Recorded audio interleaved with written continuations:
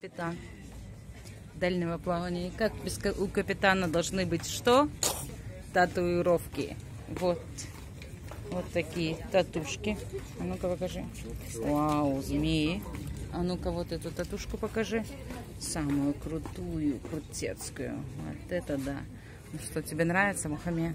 Да. Будем клеить вот такую татушку. Медийный. Тату. А это медини, да? Так, клеим. Что нам надо для этого? Мы убрали. Клеющую ленту тоже убрали. Теперь нам надо вот эту часть намочить. Да. Мы теперь намочили. Вот сюда, да. Так, посмотрим. Вот таким образом мы клеим. Так. Смотрим, смотрим.